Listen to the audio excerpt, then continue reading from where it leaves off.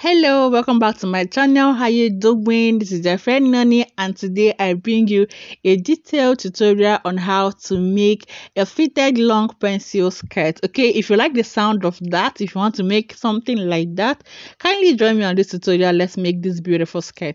So i'll be needing my measurements my fabric my tape my scissors my pattern maker and of course a calculator to calculate a little bit of the measurement okay? So right here i have my fabric on fold and to know how to fold you need to measure the biggest circumference around the body and for this project is the hip. So the hip is 46 divided by 4 would give me 11.5 so i'll be adding 2 inches to that and i have 13.5 okay so i folded in 14 inches just to be on the safer side so then i would mark my starting point okay? So that's how to fold. You fold with the biggest measurement or yeah the wider wider circumference around the body okay? So after marking my starting point i'll start taking my vertical measurements okay? So i'll mark the hip length okay? That's the waist to the hip length from the waist to the hip. That's the distance from your waist to your hip. You need to measure that. So for this product it is nine inches okay? I would also mark the waist to the knee length okay? Exactly where your knee is. So i'm not making a small dot at that point because that wouldn't be the exact knee length we'll be working with okay? We'll just make some alterations at the knee.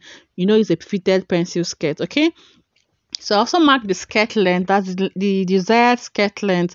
Then I'll add 2 inches hemming allowance. Okay, you're not seeing that. So I'm just going to move my camera uh, closer a bit so that you'd see what I'm doing. So like I said, to the hem, I'll be adding 2 inches for hemming allowance okay? So you can neatly hem your dress. Your skirt is a skirt not a dress.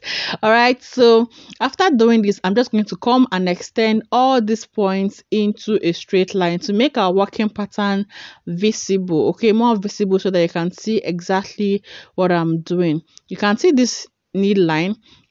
All right so if you're working with a tall person you can come up by three inches. And if you're working with a not so tall person you can do two inches okay? So whatever you have as the knee length come up by three or two inches depending on the height of the person. So i'm doing two inches upwards okay? And this is to limit um, having your skirt constricting movement around the knee okay? It's a fitted skirt and you want to be able to walk properly while wearing your skirt. You want to be able to move okay without being you know constricted. So that's why we do that. So i will extend the length and the hemming allowance okay? Remember, if it's a tall person, you can go up by 3 inches. The person is not so tall, 2 inches. Okay, so I have here my waist, my hip, my knee, the length, and the seam allowance. Now I'm ready to start drafting. Are you ready? Let's go. Okay, so on the waistline, I'll mark quarter of the waist measurement plus 2 inches, and it simply means my waist divided by 4. Then I'll mark 2 inches as seam allowance. Okay, then on the hip line, I'm going to mark quarter of the hip measurement, which simply means the hip divided by 4 plus 2 inches seam allowance. Okay. Now on the knee, we're going to leave it for now. And this is for those of us that want a straight, a pencil skirt, but it's not so fitted. So what you do is measure exactly what you have on the hip line you're going to transfer exactly that to the length of the skirt okay? Now what you would then do after marking that on the length of the skirt you would then come in by either 1.5 or 2 inches depending on how shapy the person is. Now so this is what you're going to do. If you don't want a very fitted skirt you just want a skirt that's free around uh the knee area. You're going to measure exactly what you have on the hip line transfer it to the length of the skirt then come inward by 1.5 if the person is not so curvy by one inch if the person is not curvy at all then two inches if the person is blessed at the back. If the person is endowed okay? All right so that is it. I'm going to connect from the hip to the length of the skirt. All right using a straight ruler like so i'll just connect to that to, to that 1.5 inches i came inward at the length of the skirt.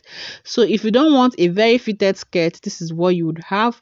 But for those of us that want to make a very fitted skirt that would accentuate your curves you know bring out your inner beauty. All right so on the waistline i'm going to add one inch for that okay because this is a fitted skirt so we want to add that to you know make it more fitted. So i'll come in by four inches. That's your bust span measurement divided by two okay? So I'll you mark your bust span divided by two on the waistline just then you then come up by come down by six inches. Okay that will be my dart length. So I also mark that bust span measurement on the six inches I came down from the waistline by. Okay then I'll take half inch on both sides of the bust span line. That's the dart line now. Okay it's now called the dart line. All right so then I'll then connect it to the six inches I came down by. So six inches is my dart length. Okay. So what I did, like I said earlier, mark your bust span, your nipple to nipple measurements on the waistline. Okay, then you come down by six inches for your dart length. Now after all those things, I'm just going to connect from the dart allowance that I made on the waistline to the hip. Okay, so that's how you curve for the waist to the hip okay? So now we have our skirts. Now for those of us you know those of us that god has blessed we're going to you know make a fitted pencil skirt right? So on the knee line I'm going to come in word by either three quarter or one inch and it's dependent on what you took at the hemline okay? So if you took 1.5 inches like we came in by 1.5 inches at the hemline so you're going to divide 1.5 inches into two. So whatever you get you're going to mark that on the knee line. So I have 1.5 inches on the hemline so divided dividing that by two gave me three quarter of an inch. That's 0.75 so i'm going to mark 0.75 inward then connect it to the hip line. So if you are taking or if you took two inches at the hemline it means that on the hip on the knee line you're going to come in by one inch. Okay so like i said this depends on the shape of the person so i'll connect from that three quarter that I came in on the knee line, I'll connect to the length of the skirt. Okay, so this would give you wow, look at that beauty. Look at that beauty. so you can see how beautiful this is and how curvy um it is. So this would give you a fitted and a perfect pencil skirt. Now on the center front, okay, after my starting point, I'm going to come in or come down by one inch rather then using the curvy part of my ruler, I would extend it to the side seam like so. Okay like so and this is to eliminate the bulge you you would have at the upper part of your skirt. Now if you have uh, if you're working with somebody that has a big tummy you do not use the straight part use the straight part of your ruler okay? The straight part of your pattern maker. Like so if you have a, a bigger tummy use the straight part. And if you have a flat tummy use the curvy part okay so that it don't bulge at the at the upper part. Okay so that's to reduce the bulge at the upper part. Okay so there was those of us that god has blessed at the tummy area people like me we are doing half inch. God bless you. All right so if you have a flat tummy coming by one by use your use the cover part of your ruler. Okay so cutting that out i'll then go and add my half inch seam allowance to the upper part. That's if you want to turn with your lining. Okay there are so many ways to do this. You can turn with your lining. You can just attach um you can just add your lining and attach a band. So i'll be adding half inch to it. Okay so now for the front pattern you would have to cut out that um that half inch that we came down by but because i need this front to cut the back i won't cut that out yet. I'll just add my half inch for turning because i also need it at the back okay? I hope you understand. So when i'm done cutting the back i'll then go and trim off half inch following that curve that slanted line that i made at the front okay? I'll do that only for the front and not for the back okay?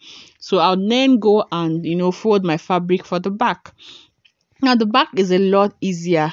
So stress free okay you just need your zip allowance and your front pattern okay? God has made it easy for the back pattern okay? Okay so so what i'll do would be to fold into two. Remember i folded 14 inches for the front. So what i'll do would be to fold 16 for the back because we'll be needing two inches zip allowance for the back. So i'm marking the two inches zip allowance right there from top to bottom like so adding my two inches zip allowance okay? Remember this is going to have a back slit so you need to make it two inches okay? So that your slit you fold you'll be able to fold properly and have a very nice slit okay? So i'll then connect into a straight line to you know draft out my zip allowance. Right. Okay. So guys are you, you're watching till now, Abby? You're still watching and you haven't subscribed. Did I offend you? Please consider subscribing. Join this lovely sewing community, this family. I love this family you've got. so uh, join us, turn on your post notifications so that each time I upload the video, you'll be the first to be notified. And please, if you have any questions, I'm in the comment section to answer your questions when the drop okay so this is my zip allowance and I've marked my starting point for the back. So what I'll do is just get the front pattern and place it on the back pattern. Life made easy sewing made easy. Okay so I'll just place um, the front pattern on the back pattern and the center front is going to be matching on the zip allowance that I made okay so make sure that you place your center front to touch uh, the zip allowance mark okay? So you place everything nice and clean. You can see how much time i'm taking to make sure that um, i'm placing it correctly and pulling out all the parts that need to be pulled out. You don't need anyone inwards or inside. Okay? So like so everything is smooth and neat so what i'll do is just to cut round the front pattern and voila we have it okay so i'm still making sure that everything is nice and clean because um a beautiful garment or outfit is as a result of a beautiful cotton I hope you got that. So if your cutting is wrong, ah, your sewing will be wrong. Right. So I want to teach us what to do to accentuate the back. You know, some of us, those of us that God has blessed behind. I keep saying this. Okay, you need to have a smooth. I want, I want to contour the back. Okay, so that the butt curve would be, you know, wow, wow all right so i've uh, marked out the hip the knee line on the back pattern. So from the zip allowance i'll come in by three quarter of an inch or even one inch okay? So from the zip allowance then i'll connect it to the hip line. So what i'll do would also to trace out my hip line like so. So that's my hip line. So i'm going to connect the one inch i came in at the knee line okay or connect it to the hip line. You know, this is what we do at the back of our upper bodies to um, eliminate back puff. Okay, you know this method, right? So I also do it at my to my skirt pattern to you know give it a beautiful shape at the back, right? So I'll then connect that three quarter or one inch back to the length of the skirt, okay, back to the zip allowance, okay. So I need to maintain my 2 inches zip allowance. Okay, so what I'm going to do is to mark 2 inches from that 3 quarter or that 1 inch that you came in by. I'm going to mark 2 inches. We want to maintain our 2 inches zip allowance. Okay, so on the hip line, you see that you still have your 2 inches. So you're going to be connecting the hip line to the knee line. Okay, to maintain your zip allowance. Very, very important. Okay, then I also connect to the length of the skirt like so so you're going to have that you know smooth transition from the waist to the knee. And when you, once someone sees your behind it's going to have that d shaped that d cupped shape. Now remember that i've taken out three quarter or one inch from our skirt. So if you don't replace it back you'll be having a shortage. So I replace it back on the knee length then connect from the hip to that one inch that i added back and to the length of the skirt. And you have it. Okay this is for people that have very big um protruded behinds. Okay so those of us that god bless behind. But my sister if you know that your client does not have that much you can you know you can skip this. But if you also want to try it out to see what it looks like please feel free. I wouldn't be doing that because my client is not so curvy at the back. All right so i would open up uh, my zip allowance then notch up top and bottom okay? I'll notch my zip allowance just to be sure so that when i'm sewing i'll be it will be a guide for me to sew right?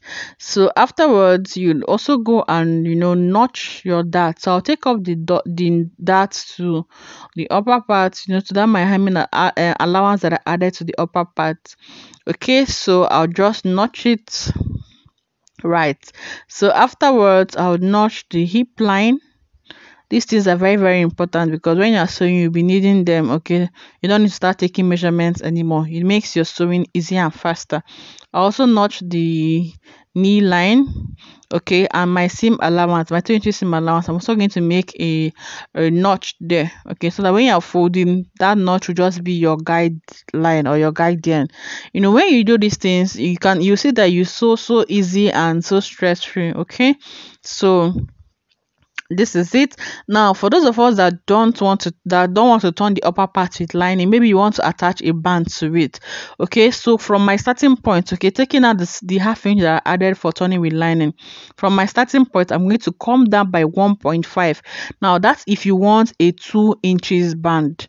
Okay so let's say i want a two inches band. I wouldn't mark two inches directly. I'll come down by 1.5 i'll leave the remaining half inch as seam allowance that i'll use to attach the band to the okay so if you want a 1.5 inches band it means you'll be coming now coming down by one inch leaving half inch for seam allowance. So i want a two inches band. So i'm coming down by 1.5 inches okay? So that when i cut this out i'll be needing um half inch to attach this band to the skirt now it means now for my band my band is going to be five inches long or uh, the height to be five inches. So that when i fold into two i'll have two and a half. Okay then i'll use half inch to stitch the band to the skirt. Then i'll have back my two inches band that i initially wanted. Okay so that's how to cut off if you want to attach a band. All right so um, i'll be showing us in another tutorial how to sew your pencil skirt with lining. It's going to be three different tutorials how to sew your pencil skirt with lining and as in turning with your line and also how to attach your band. So if you found this particular video helpful please like and share it. Till i see you next time. Bye. I love you